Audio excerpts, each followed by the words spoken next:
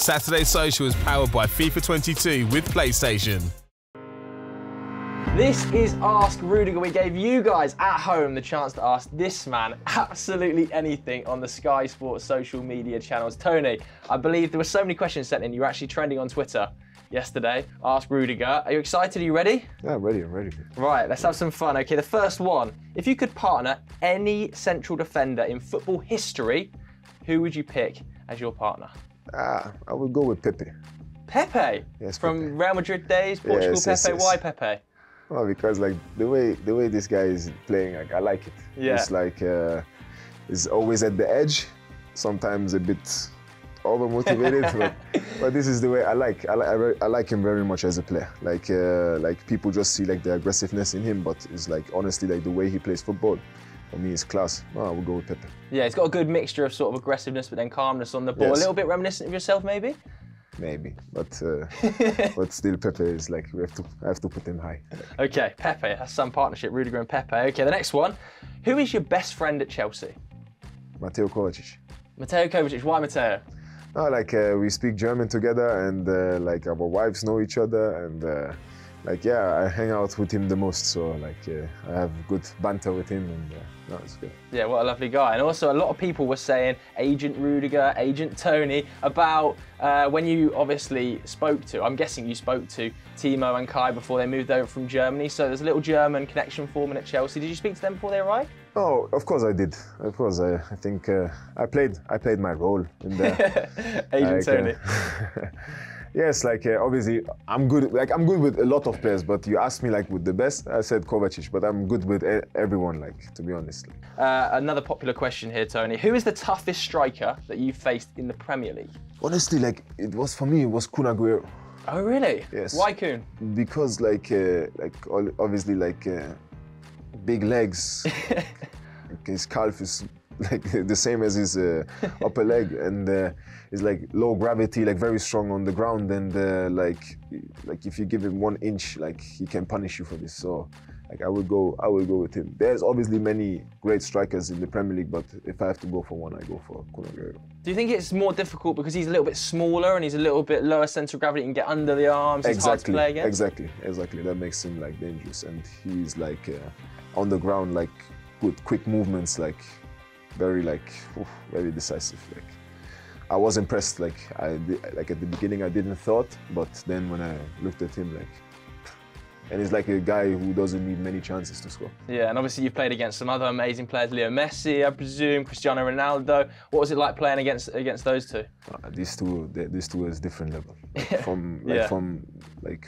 those two they're in their own world and then then come come we Yeah, okay, fair enough. Uh, this one's a really interesting one, I think. Is it true that Thomas Tuchel actually tried to sign you when he was PSG manager?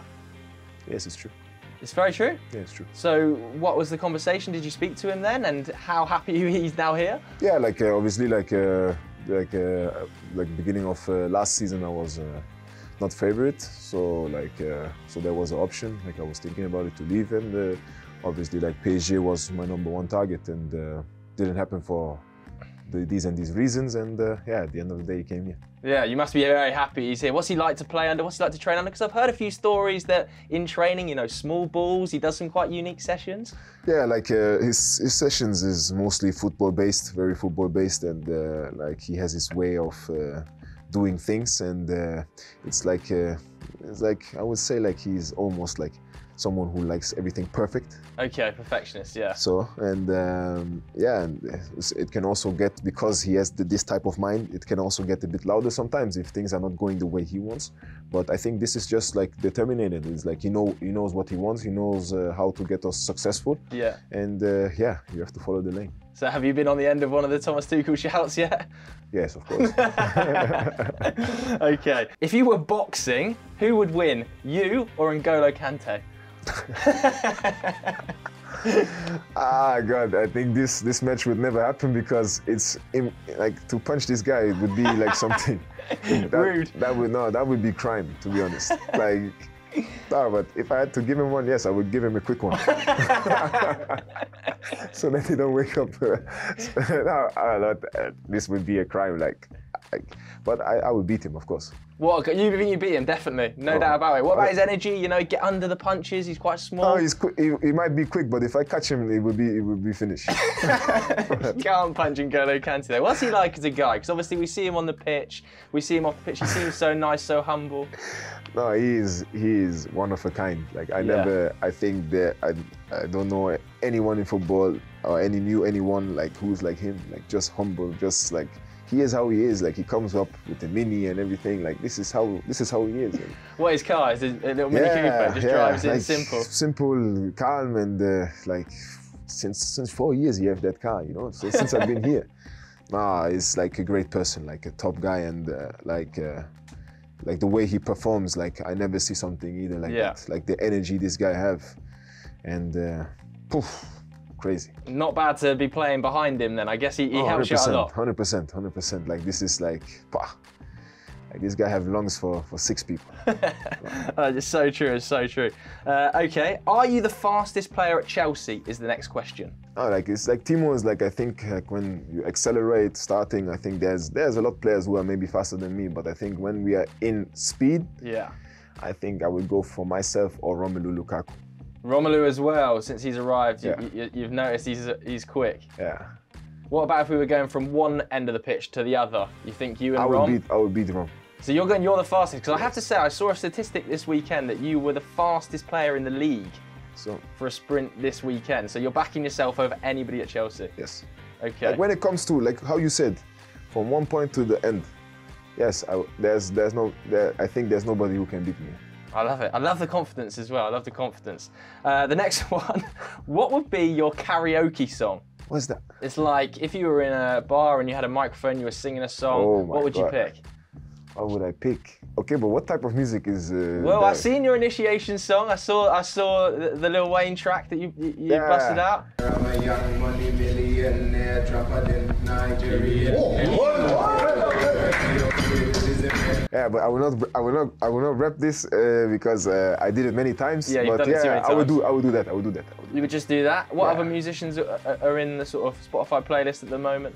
There's a lot of like Afrobeat act, uh, artists like Yeah. Davido, like uh, Burna Boy, like Wizkid, like those those ones I like more because it's like you know like it makes me happy. Like really, there's a lot of rhythm and everything, and like makes you want to dance and everything. Like this is good. Yeah, you love the dancing. And anything that's got a bit of rhythm, I sense, Tony, that you Yeah, quite enjoy. a bit of nah, Burna Boy location sort of vibes. Yeah. 100%, 100%. Uh, okay, we've spoken about Lukaku just a second ago, so this next one is about Rom.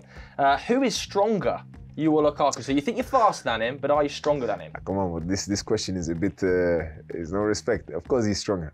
Yeah, He's so in the gym, on the bench press, you- you're backing Rom. Hundred percent. Like, like, look at the guy. Look at me. Like, no, no, Rom, Rom every day. every What about day, in an arm wrestling match? Ah, Rom every day. Like, Rom every single day. How's he been since he's arrived? Obviously, you've spoken about him being very fast, but what's he like as a guy since he's come into the changing room? no, I know him. I know him a bit longer than uh, than now, and uh, he's uh, he's a guy like very like calm and everything. He's like you can have serious talk with him. You can you can have a lot of jokes with him. Like uh, personality wise, you see he has he has grown. He has grown as a person. Mm. You can see and.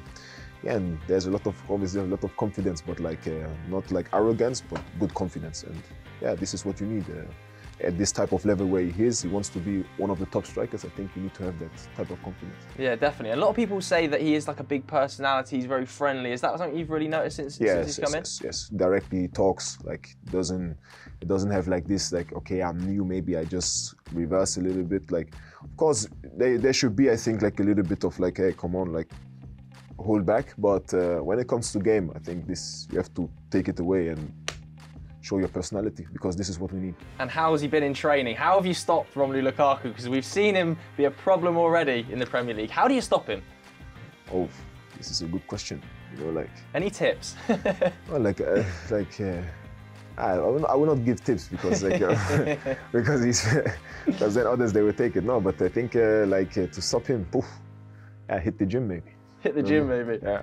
And we saw you give him a little slap on the back of the head after the Arsenal game. Is that what is that? What's everybody saying in the changing room about that? No, like I think, like we didn't spoke about it. I think so that that tells me he didn't even feel it.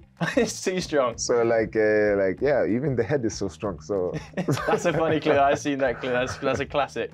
Uh, okay, this one is um, it's about the face mask. Did the face mask give you superpowers? And he goes on to say, your vibes in that were immaculate. Yeah, like uh, a lot of people told me, like, yeah, why not wear the mask again or something like this. Like, I don't know. Like, the mask was very good. Like, um, yeah, Good luck charm as well. ah, but not good luck. Like, I needed it because my jaw was broken, so I needed it. And yeah, like, uh, yeah, I don't know if it gave me superpowers, like, but I had a good time with this mask, and uh, yeah, I will always keep, I will always keep it like in good memories. Yeah. So it's at home, is it somewhere somewhere safe? It's it's here collectible? it's here at Cobham, but I would take it probably home and uh, I'll just yeah I'll let my son play with it. And was it a fully broken jaw? What, yeah, like uh, here, like here on this side was completely joke exactly, and uh, like it happened against Madrid, and Yeah, I I couldn't I, remember. couldn't open my mouth really and everything, so I had to wear it. So how much pain were you in playing in the Champions League final then? Obviously, it must still have been causing a bit of discomfort. Or? Yeah, like uh, sometimes like when the ball or somebody hit here again, like it was uncomfortable, but I think uh, at the end of the day, like uh, in such an occasion, you don't care, like like you just keep going, yeah. Okay, nice. Uh, this one, a lot of people are talking about Tammy Abraham. Obviously, he's gone to Rome. You played for Rome previously. Did you speak to him before that move? He asked me about it, how it is, and everything. And uh, I think for him, that's a big move because uh, he never moved out of England. He always been here with his family and everything. So this is a new episode for him. But I think for him, it can be good because he can, uh, first of all, like this transfer of I think 40 million or something like this. That's a huge transfer in Rome. Like that's Yeah. a big transfer, and uh, like uh, obviously the expectations because obviously he won the Champions League, he won the Super Cup. They are high. As a person, he can grow because in new language, that's a new challenge. Yeah. So, and uh, I heard English people, they're not so good with different languages. we're not. So, we're not. I can't speak any. so, like, he can show that he can he can Yeah. learn Italian because I think this will make him grow as a person. And uh, obviously, he started well with two assists, and uh, hope he can continue to score goals. Perfect. Okay, we've got a couple more then. This one. If you weren't a footballer, what would you be? Uh, like, like you know, like when you're a child, you have Yeah. like dream. I wanted to be a pilot, but the problem is, Well, airplane pilot. yeah. But these days, like, I have like a bit. I'm a bit afraid of height. So, So you'd no pilot in so there. like, I, I think I would go for doctor. A doctor. Yes. I like that though. That's a very, Yeah. very intelligent person to be a doctor. yeah, but the thing is, I, I cannot see blood, so it's also How could you be a doctor then? You can't see blood, Tony. like uh, uh, if I go for one, uh, um, Bloodless doctor. oof. yeah, doctor, doctor, see doctor. Nice. Okay. Uh, this one was sent in, and it's so popular. Where did you learn to dance? I wouldn't say I'm a I'm a good good You're dancer. a good dancer, Tony. No, You're a great honestly, dancer. like honestly, like I just, I just, I just like, like for example, like the last uh, event, Super Cup. Yeah. It's just like taking a laugh, you know, like it's just like making people laugh. I just danced like to the to the beat, to the rhythm, and it's not like that. It's good, you know, like it's just like yeah, fun, you know, like if people laugh, ah, it's good, you know. Can you teach us some moves? Nah, nah. Too nervous. Too nervous. Don't get nervous now. The cameras are turned on, Tony. I'm no good at dancing. please no, please. No. it's good, it's good. I'm tired, like my hamstring. you know, Ah, like- get the excuse in early. Have you got like one go-to move that after winning every trophy is the Antonio Rudiger special? Special. What did I do in the Super Cup? What did I do? I did. Yeah. nice and simple. Just a bit of rhythm. Bit of rhythm and Tony's A bit, moving. a bit, a bit, a bit. Fantastic. Thanks so much, Tony. No Have a great problem, season. man. Thank you very much. Stay safe.